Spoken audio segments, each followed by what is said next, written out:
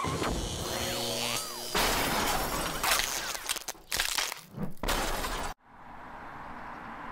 there, welcome to the Player YouTube channel where amongst other things we do car reviews.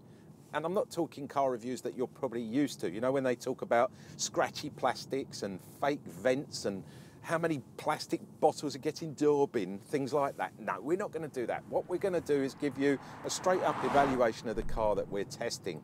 And hopefully at the end of the day, you can make a decision whether you want to go down and get a test drive of that particular car. That's what it's all about. My name's AJ, and the car today in question, believe it or not, is the BMW M340i. This is a proper driver's car. It's not as raw as I thought. It's very refined, I've got to say that. It's nimble, but it's well balanced at the same time. The question is, can it cut the mustard with the competition? The likes of the uh, Mercedes C43 AMG, for example, or the Audi S4, or even the Genesis G70, which we reviewed a few weeks ago, and I thought it was an absolutely brilliant car. Click up there now if you want to watch that review, because that was a pretty cool car. Really like that. So as I say, can it cut the mustard with those cars? Well, we need to find out. And the only way we're going to do that is to get this car back to Player HQ, have a look around it, get in the back for the passengers, see how much space is in the boot, talk about the engine and the gearbox configurations, and let you know what we think of this new M340i from BMW.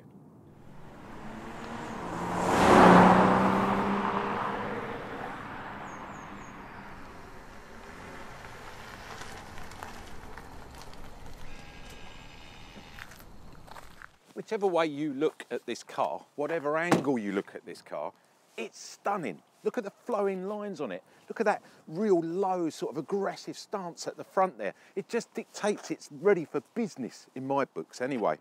Launched back in 2019, this car in USA and Canada alone is the biggest selling model in BMW's range. However, here in the UK, we're a little bit more passionate about our estate cars. In BMW language, that's the Touring, and that sells more here in Germany than anywhere else, which is quite incredible in a way. The car is xDrive, and xDrive, if you know BMW, means it's all-wheel drive, which makes it very, very practical and really versatile. So round at the front, you get BMW's intelligent grille. This one is in black because it's an M Sport at the end of the day and it gets a black grille. You get some lovely laser headlights around here. I love the shape of them, the way they curve around and sort of smooth everything into this beautiful aerodynamic bumper you've got here at the front. Now the bumper itself sits 10 millimeters lower well, the whole car sits 10 millimeters lower because this has M Sport suspension, which is 10 millimeters lower than a standard 3 Series. So there you go, just explain that one as well. You've got these larger air vents at the front here as well. And if you look around the side here, you've got these gorgeous 19 inch alloys with some red calipers in there and some black mirror caps. They are part of the Shadowline package, which will cost you an extra 750 pounds. But isn't that worth it? They're gorgeous. Another thing, look at this colour, Tanzanite blue. What a beautiful colour, especially on a day like today. It's going to cost you an extra £1,100, but I think the whole car just sort of matches in and blends beautifully. Now for my favourite bit of the car review, let's get under the bonnet. The bonnet releases down here in the driver's footwell. It's a double pump because it's a BMW, so you pull it twice because there's no bonnet catch. You'll see what I mean in a minute. Don't forget as well, if you're driving a left-hand drive car, it's going to be in the same place, so it'll be in the passenger footwell, won't be in the driving footwell. We lift it up, couple of decent gas struts, really nice and easy, that easy to work on. The only thing is this lovely engine is all covered up with this plastic cowling, which is such a shame because under here there is a three litre turbo petrol 24 valve engine, straight six, absolutely stunning, developing around about 369 brake horsepower. That's actually 48 horsepower more than the previous version of this car. So it's going up slowly but surely.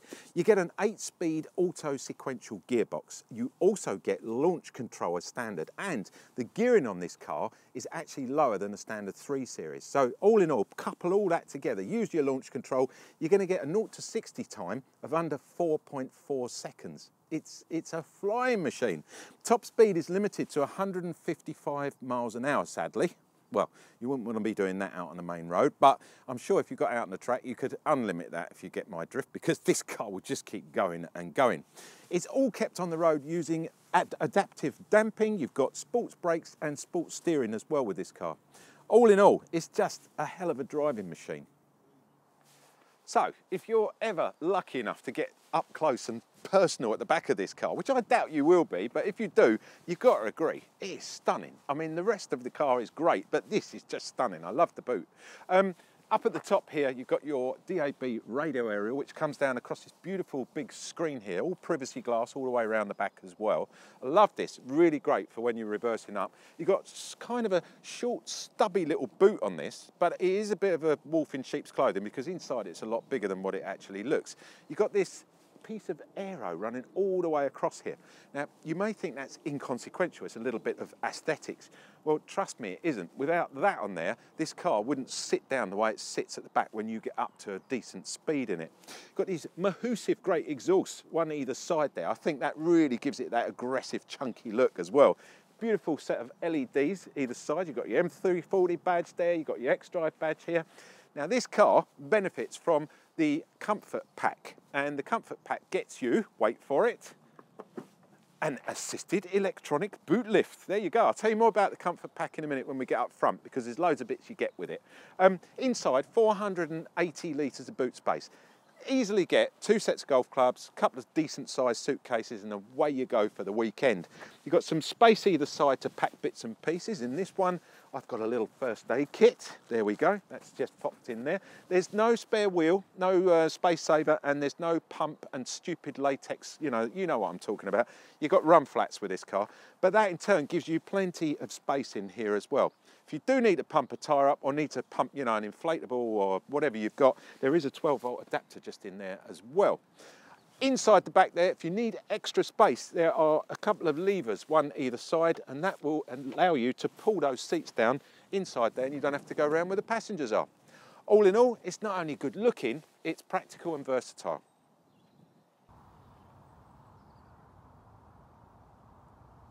So just before I jump in and show you what it's like for the passengers, notice how far this door goes back. It's a really lovely angle for getting a child seat in there really easily, or just simply helping people in and out if they're a little bit older, or in my case, if you want to jump in and out fairly quickly. Look at that.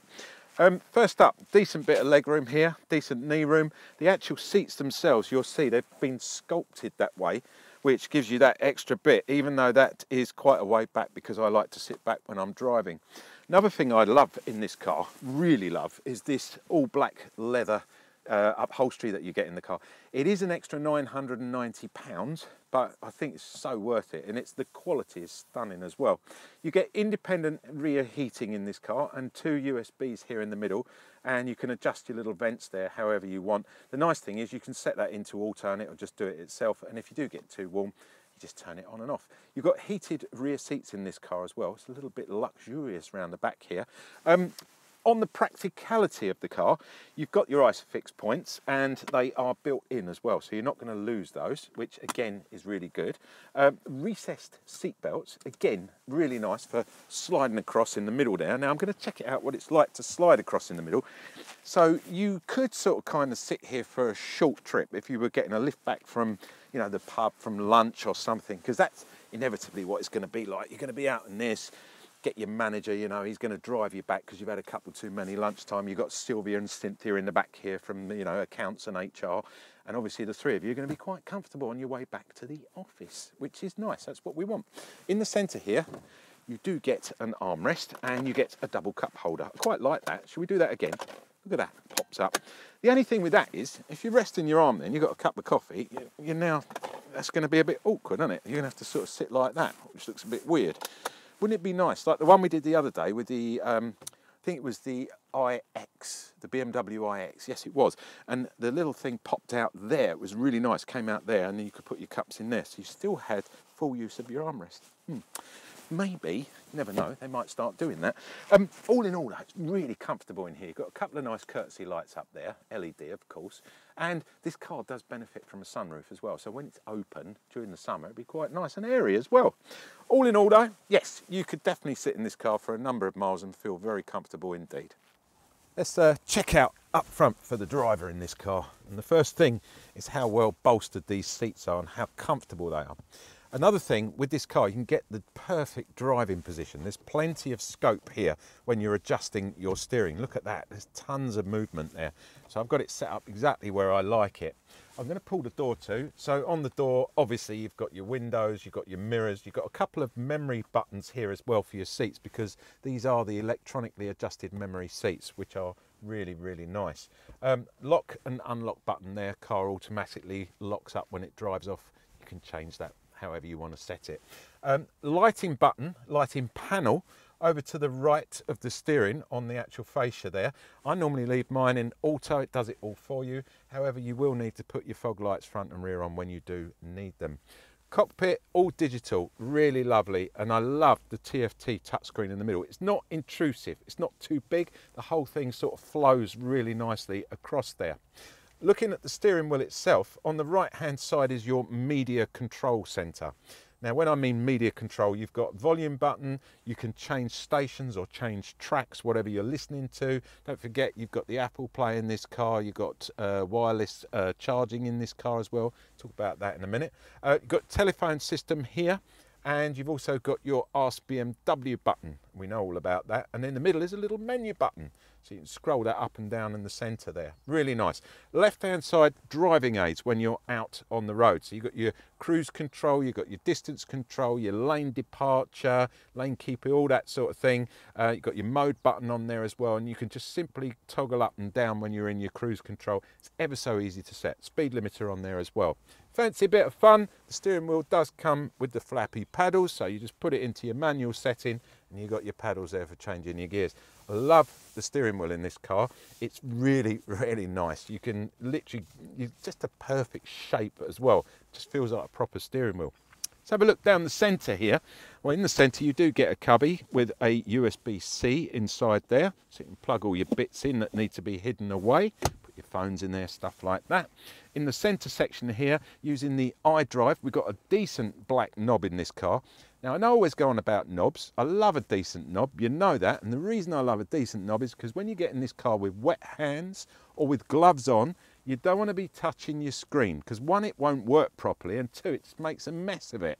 So having a nice big black knob to negotiate through the menus as you do using the iDrive BMW system is just perfect for me. You do get one other knob in this car. Wait for it. Volume knob, yes, because when you get in the car and some idiot has maybe left the, you know, the, the sound so high it blows your ears off, you can turn it down straight away even with your gloves on or wet hands once again. Bit of piano black in this car. I like that, but you know, hidden under here, there are bits and pieces as well. So the piano black is nice the way it's hidden It just really nice little touches. A double cup holder, USB-C there and a 12 volt adapter as well. And as I mentioned, there is a wireless charger in there for your Apple phone Close that back down again because I think it just looks really nice.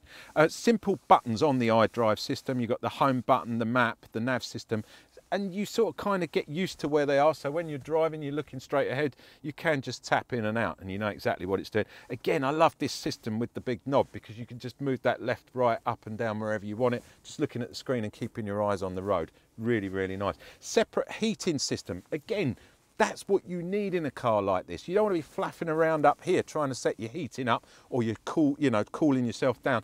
You want it there where it's separate so you can just scroll up and down, increase the heat, decrease the heat, whatever you want. You also get some nice heated front seats in this car. I like that. These are assigned buttons, so you can set them up how you want. Just sign that you've got about seven or eight there that you can do. It's all just so easy. Let's check out under here in the cubby. You've got the glove box at the front there.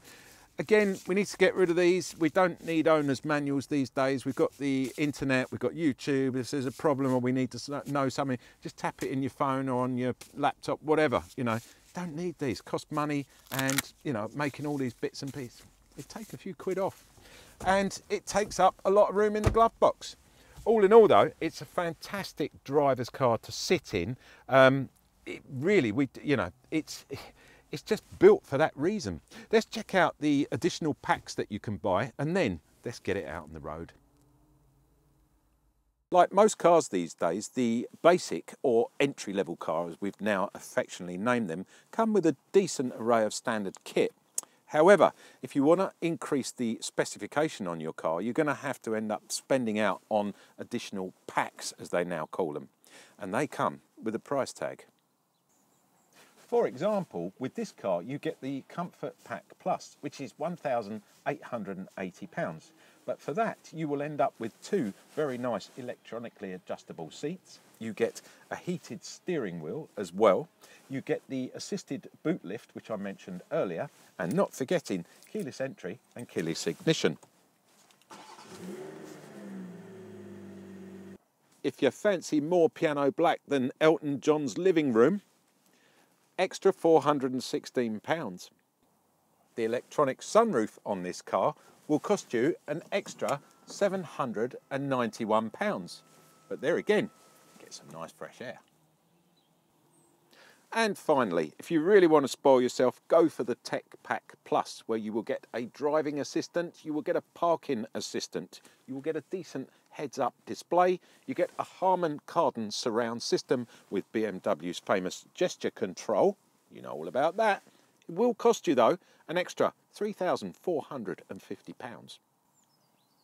Thanks to the adaptive suspension that you get with the M340i, you get a number of different modes to choose from. The mode buttons are down here in the middle. They're nicely positioned because when you're driving, you can just, once you get used to where each one is, you can literally just carry on driving without even looking down and swap into the various different modes. It will tell you on the cockpit display up here as well what mode you're in, and it will also change colour accordingly. So, for example, in Eco Pro, it goes a nice blue colour. When you get into the sport mode, it goes into a real aggressive sort of sporty red which I really, really love. Um, down at the bottom here, you've got adaptive. That's your day-to-day -day driving mode. The car will do all the setup for you. You don't need to worry about anything. So whether you're on a B road, whether you're out on the motorway, it will know exactly how to set up the suspension, the steering, and all the rest of the bits and pieces, which is great. Eco Pro, if you push that, comes up on the screen here. Um, you've got standard and you've got individual. Now, with individual, you can actually set it up how you like. So if you want to stay in the eco mode, so you're saving the fuel, but at the same time you want a slightly more sporty steering, you can do that by going into the configure mode. We then jump into the comfort mode. Now, comfort mode, there is only one setting because comfort is comfort at the end of the day. And then above that, you've got the sport mode. Now, if you press the sport mode for the second time, you go from standard into plus, gives you a little bit more oomph for your, for your bang, so to speak. And then you can go into individual and actually configure the sport mode and how everything how you love to drive this car when you're really enjoying it out on the road. Don't forget we've got the X Drive gives us the all-wheel drive so you're going to be pretty safe in almost any conditions, any weather conditions that can be thrown at this car. And on that note, really what we need to do is get it out on the road and see what those are like and how this car handles. So let's go do it. Right, so first up, before we do anything, I'm going to say how quiet and refined this car is that's about as far as I'm going to go with that because now I'm going to put it into manual mode and I'm going to put it into sport mode because you've got your mode buttons down here as I told you earlier. Then we can have some fun with little said car. I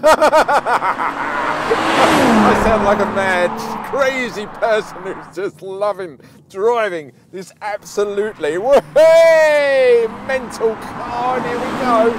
Oh, yes. the back's going out a bit. Whoa, and oh, what a here we go. and down again. Whoa, there we go again. Camera's going all over the place. I am literally hanging on to this car. What a fantastic drive. Look at this. right, enough fun had by all. Brake, brake, brake let's get that back into manual. Let's get that down into Eco Pro. Let's save some juice for the rest of the review. Otherwise, we're going to run out of petrol. Wow, wow, what a car. So that just proves beyond all doubt that this car is it's, it was, it's as good as an M3, I'm telling you. I've, I have not experienced a car as good as that in a long, long time. Seriously, that's so much fun. And on the other hand, now I'm in the Eco Pro or even in the Comfort, it just behaves so lovely and sedately, like just a really nice family saloon car. And yet underneath, it's like a wolf in sheep's clothing. It's absolutely mad. But the surety, the grip, the braking, everything. And I know above all, I've got all these safety aids working for me as well. So even if I was to turn the traction control off, stupid, um, on the road anyway, but not out on the track. Obviously, you would turn it off on the track, but out on the road, yeah, a little bit silly. But even, you know, even if I was to do that, I'm telling you, this car is so sure-footed. I don't think you'd, you'd, have any problem at all just doing what I just did on any road anywhere in the world. Um, let's get back to safety aids. Let's start talking a little bit more seriously about the car, but you've seen how it goes. You've seen the fun you can have with this car. And trust me, I have had so much fun in this car. It really is. Um, blind spot mirrors, distance, lane keepy, uh, departure lane, all that's all built in. You know, you know what I'm talking about. Cruise control, um, it's all there, autonomous braking in town, front and rear, in case you know you can't see something from behind. It's got great cameras on it as well, and it does have an assist park on it, which is superb because there are quite a few blind spots on this car. I've noticed that it's got quite a lot at the back there, you know, when especially on the, the, the hind quarters, if you were referring to it as a fine young filly. Um, you do need that, but great camera at the end of the day. That's what it's all about. Um, you've got that uh, collision impending, you know, warning system as well. It's not oversensitive in this car, but look at the way it handles these B roads, the way it just sort of just rides in, in and out of the bumps and the curves and everything. Just gives a really smooth drive. And then, yeah, should we have a bit more fun? We've got to have a bit more fun. Look, manual down into sport mode. Let's do it. Into the manual. Here we go. Ready?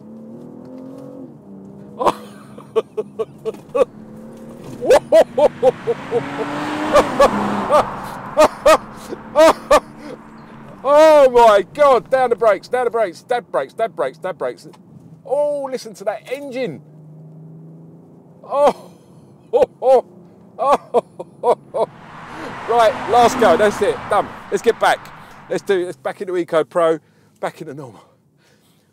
I've got to say, building up a sweat here. I'm going to put the aircon on. It's the middle of the winter. um, I think you get the gist of it, guys. So you've got tons of safety aids on it. The comfort goes, goes without saying. It is superbly comfortable. Um, and then driving it in a situation like here where we're in a small village, there's a few cars, you know, you just sort of take your time and, and it's just like a really nice, normal car. There's no, but it is that wolf in sheep's clothing. Um, let's talk price wise and warranties and stuff like that because I think that's really important. Um, obviously, if you're going to buy one of these from £49,000, and I've got to say, from the fun I'm having, it's worth every penny. let's just go buy one from 49 grand. But by the time you add all those packs in, you're not going to have much change out of 60k. Trust me. Um, you're going to want the packs because you're going to want the leather, you're going to want all those nice little extra bits and pieces. And so basically look at £60,000 for one of these. Um, but it's so worth it. Anyway, uh, warranty wise, you've got unlimited three year uh, retailer warranty. Um, you've got 24 hour road assist uh, during that period with BMW road assist. Um, you're pretty much covered. Uh, I can't see there's much. I'd like to see the warranty a bit longer, wouldn't we all? We'd all like a, a 10 year warranty. But at the end of the day, you know, what's possible is possible and what isn't, isn't. Overall, let's sum this car up. Let's head back to Player HQ. Let me calm down a little bit and give you a good summing up of the BMW M340i. I'm going to do it again because I just absolutely. Let's go. Oh! Ah!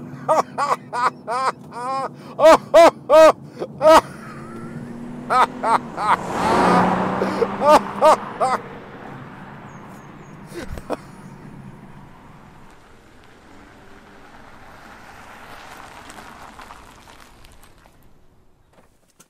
you have it, guys. That was the BMW M340i. And I've got to say, if you're looking for a family car with super saloon performance, you're not going to go far wrong having a test drive in one of these. If you're young, free, single, and got a healthy bank balance, you might be tipped over into having a test drive in the M3. The choice is yours at the end of the day. You've been watching me, AJ, on the Player YouTube channel. I hope you've enjoyed the video that you've just watched as much as we've enjoyed making it because it was a hell of a car to have a play with for a couple of weeks. Um, don't forget, like, subscribe and comment. There's a comment box down below. If you want to leave any questions in there, or if you've got anything useful to add to the review, then just pop it in there, or one of our team will get back to you as soon as possible. You're going to subscribe, I'd really appreciate it. Don't forget, leave the bell sign unchecked because at the end of the day, we do quite a few videos. We don't just do one-offs. We are part of the player. I'll get onto that in just a second. If you could do me a favour in between that, give me a thumbs up because we don't get a bonus, we don't get any extra pay, but what we do get is a pat on the back from the boss and the sponsors to say, job well done, because if you thumbs up, it means you liked what you've just watched. So I'd really appreciate that. So as I said, we are part of the player and the player is a much bigger organisation. We are a 220 page male or men's bookazine. There you go. It's a whole lifestyle, the male lifestyle. We've got boats, we've got cars, we've got motorcycles, jet skis. There's reviews in there on hotels, there's golf. There, oh, I could just keep going on and on. But you can have a copy of that for free. You can't have the physical copy, but what you can have is the online version. And all you've got to do to get that is go to www.theplayer.co.uk and very simply, it's coming up down there somewhere just to remind you, just simply go over to there and go up to the top of the screen. You'll see it says register. That's all you've got to do. There's no data capture. You just register your name and your email, and then you can either download it and view it at your leisure, or you can look at it online by turning the pages, scrolling across, going backwards and forwards. It's so easy. The guys who put it together done a brilliant job. Thanks for watching, guys. I'm going to catch you next week, hopefully, with something different.